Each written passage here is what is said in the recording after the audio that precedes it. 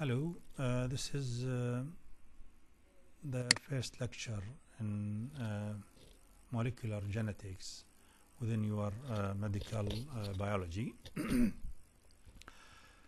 Uh, in fact, it is just introduction, and we are not going to be asked on the content of this lecture. I mean, I am. It's not to be included in your examination. It is just uh, background information, and uh, let me explain that uh, we are not preparing you to be a molecular genetist. Then why we are bothering you on studying this subject? In fact, uh, in your future work as a doctor, you will face some of your patients. Their disease is related very much to the uh, genetics in general. In fact, some scientists believe uh, that every disease has relation one way or another to the genetics. Well, this is maybe a bit uh, exaggeration, uh, but it is in a way uh, got a point. Uh, you find some of the people are susceptible to the disease more than other, and this susceptibility uh, may be inherited from their, uh, I mean, uh, predecessors from the previous uh, generations. and usually, you will ask your patient, "Have any of your family have this disease?" Uh, when you go to hypertension or the diabetes or some these sort of diseases and others usually you ask uh, any any of your family. And when you're asking about your family so that disease is, is run familial. However this is just susceptibility but some diseases are very much related to the genetics. And uh, let us uh, um, assume that uh, one day you are in your clinic in the hospital and uh, a patient uh, come to you. When you look to the face uh, the face is not very normal the feature. In examination you will find uh, he she has uh, cardiac diseases. Uh, tooth is not well. I mean the teeth uh, the patient mm, usually mentally retarded and sterile. Uh, this patient most likely is uh, suffering from a disease called Down syndrome. and the underlying cause of this disease is that uh, this patient uh, has abnormal number of chromosomes. You and I supposed to have you and I supposed to have 46 chromosomes while the patient with Down syndrome has 47 and the extra one is another chromosome number 21 so we have only a pair of chromosome 2 the normal people have two chromosomes number 21 while the patient with Down syndrome has 3 this is why a medical student has to have some knowledge about the molecular uh, diseases. Uh, so the molecular genetics is field of biology. It's, you study the structure and function of the genes and the chromosomes, chromosomes bearing the genes, uh, and they are important. Studying of the chromosome and the gene, the hereditary genetic variation, and uh, mutations uh, and it's useful to study the development and even the genetic disease. In fact, you may diagnose a disease with uh, molecular technique and you may treat diseases by molecular technique. So these are very much related to medicine among other uh, field. The story is uh, long. Uh, 1930 uh, people start to think on molecular biology and a scientist uh, named Weaver in 1938 named it and he think, thought at that time that uh, it is about time to have a certain uh, special a special branch of biology uh, dealing with uh, molecular uh, biology. That was as early as eight, 1938. and the aspect and the branch dealing with medicine, with diseases, with patient, with diagnosis, with treatment, call it molecular medicine. Even another branch, we call it molecular pathology. If you are, uh, I mean, uh, focused on the pathological aspect of the disease, so you will have new drugs. You will diagnose disease. You understand the, um, the cells. Okay.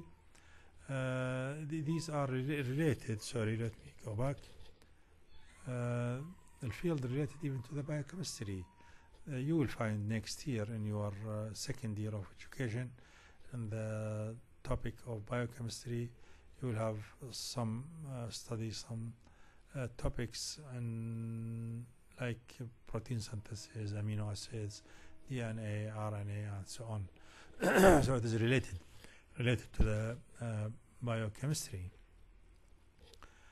The journey is long. Of course, this is not molecular biology. You will start with the biology, and even before the biology, when people dis- discover the lens and the microscope and to magnify things, then the cell theory comes, and everybody believe believes that uh, organism composed of cells, uh, and the cell is the basic unit, and each cell uh, came from pre-existing cell. Um, so um, we said that actually, and even the function. I mean, your locomotion, your your digestion, your uh, respiration, and everything. All these fundamental uh, functions uh, are uh, uh, just an accumulation or sum of uh, function of individual cells. So the, the, the, the- cell and the cell is independent, uh, working by itself, and of course uh, coordinate and cooperate with other cells and affected by them, and it affects them as well. and inside the cell we have the DNA and RNA, uh, and the, the, the, the fact that, of course, human being, not only human, all the uh, living organisms started from from one cell. So it is, uh, for example, it is the oocyte, and uh, then it will divide and uh, differentiate it into various uh, forms of cells. So basically, all cells are uh, the same, the same. Sorry, and this is what we said earlier that after the discovery of the, I mean, biology, uh, the studying of the detail starting when the microscope was invented at that time.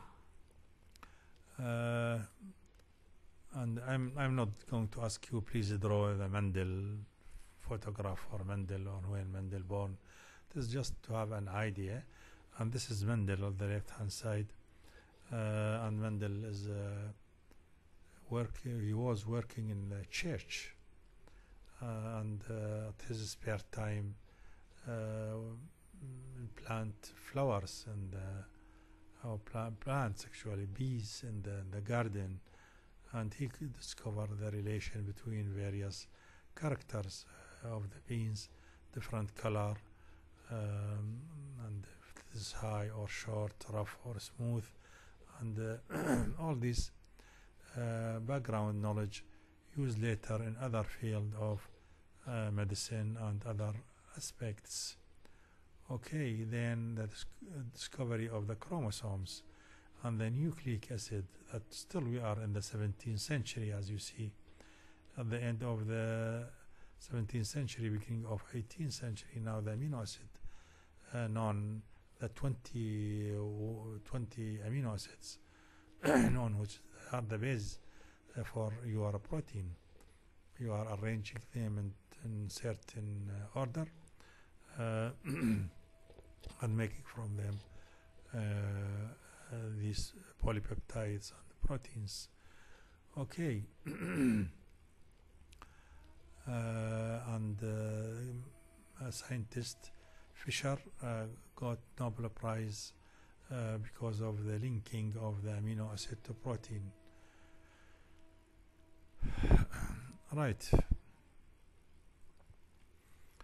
uh, so now we started with the RNA uh, okay uh, uh, genes how the genes make proteins and how the DNA and RNA forms and how the cytosine link to guanine adenine to thymine and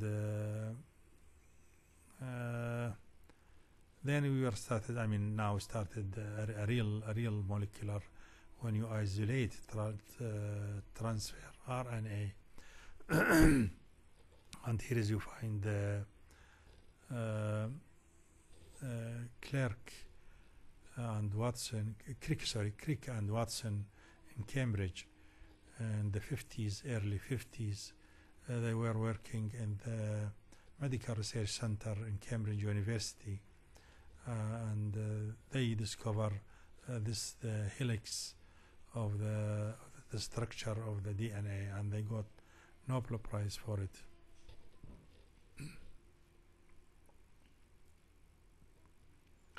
Uh, now we are starting to uh, work on this manipulation, so it's cutting restriction enzyme. So you have enzyme which is work as scissor to cut pieces, cut the DNA into into pieces, okay?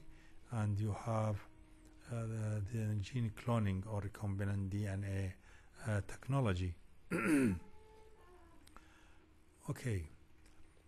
Uh, so now we understand better the protein synthesis. So this pre-messenger RNA processed by the excision of intron and exon are spliced uh, together. Uh, uh, and uh, people at, uh, at the beginning they use it manually and it was very difficult of course and uh, take time. Then it became the automated sequencing and we started to human genome initiatives actually in 1986 how to have the gene mapping of the human.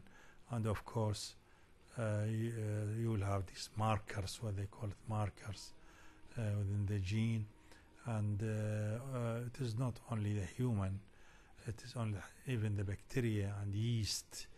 Uh, as we said um, if you understand one type of the cell it will you will gain knowledge uh, to understand uh, other types. So here is here is a yeast here is bacteria. We're sequencing then then the the, the the human one? Here here it's published in the scientific journal of the science. Uh, okay. Uh, so human genome project completed in uh, 2003 uh, mouse genome sequenced okay.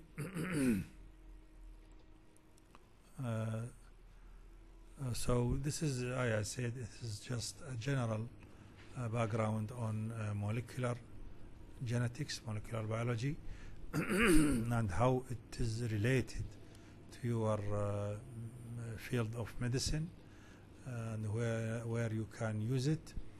Uh, and of course uh, you are not uh, asked to memorize all these figures and uh, all these photographs. It's only just for information and uh, thank you. Let me save it for